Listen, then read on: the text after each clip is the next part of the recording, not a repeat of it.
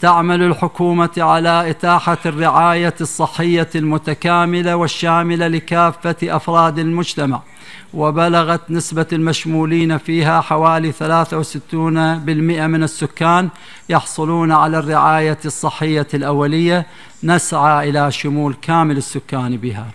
حصل تقدم في مؤشرات التعليم ولا سيما التعليم الابتدائي حتى وصل إلى 94% في عام 2018 مع بقاء فجوة النوع الاجتماعي بين الفتيات والأولاد.